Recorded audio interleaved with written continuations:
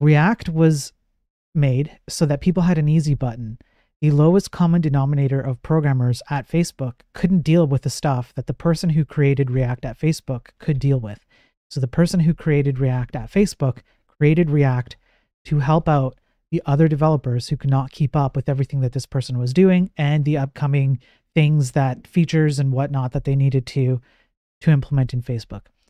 Ultimately, when you reduce that down, it's just developers don't know how to do something, even though it's not about them being stupid, because I don't actually believe that. I think a lot of developers are actually quite smart, but we're not doing them any favors. We're not actually utilizing that. We're not encouraging them to use their brain.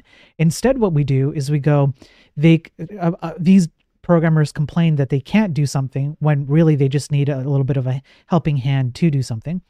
Uh, so instead of helping them, what we do is we go, well, we'll create a tool for you and it's an easy button. That principle of you don't need to do thinking, someone else has done thinking for you and created a tool to reduce your your uh, requirement to think.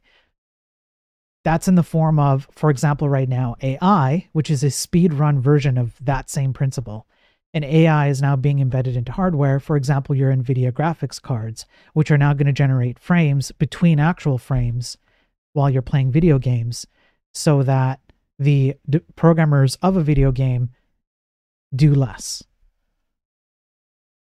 There you go.